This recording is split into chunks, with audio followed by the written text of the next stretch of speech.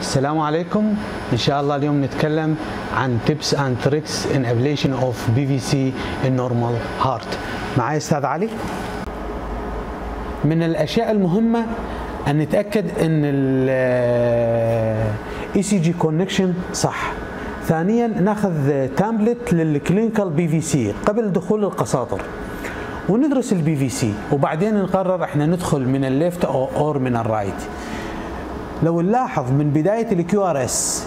لنهاية ال QRS تقريبا 140 ومن بداية ال QRS لل peak تقريبا 102 اذا 102 على 140 هو أكثر من 0.6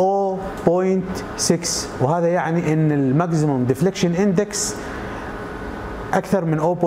0.6 يعني إن ال PVC هي epicardial من ضمن الأشياء ال epicardial هو ال coronal cusp. يعني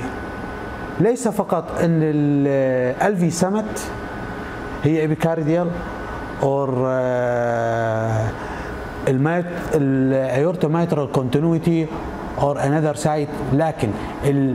ال coronal cusp هي أيضا epicardial structure كذلك لو نلاحظ إن ال transition of PVC عند V 3 لكن abrupt transition يعني في البدايه no initial r and then no initial r and then abrupt transition عند V3 and this is speak about also epicardial PVC دخلنا من ال right side ومن ال left side for mapping about the PVC ومثل ما رح نشوف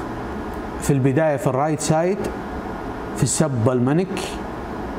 يعني زون 1 anterior part وإن شاء الله نشوفها بال fluoro. The earliest signal تقريبا 20 يعني حاولنا نجيبها. أكثر من 20 ما قدرنا نجيب. ثانيا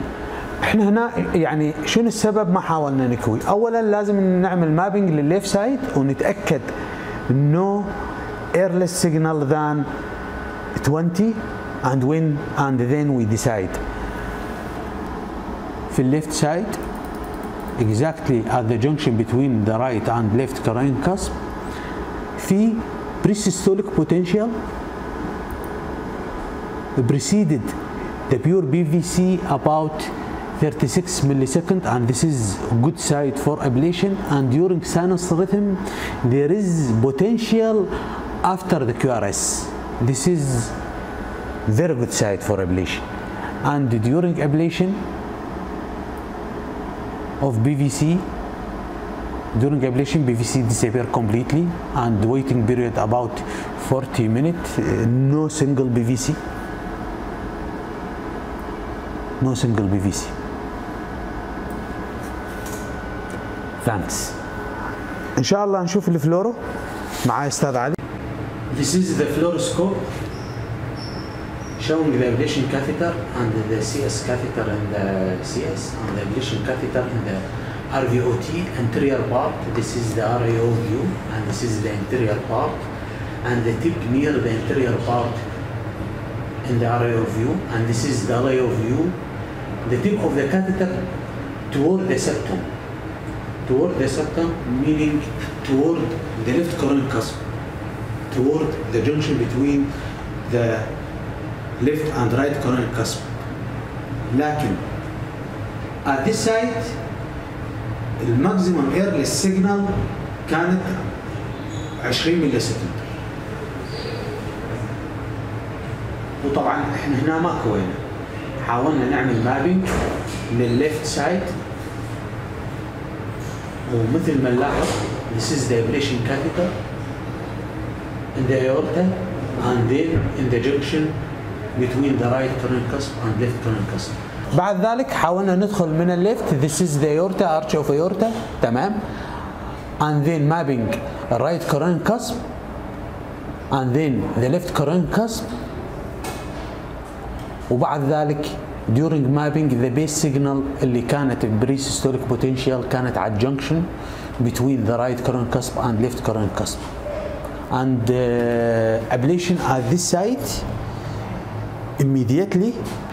ablation at this site اللي هو junction between right and left coronary cusp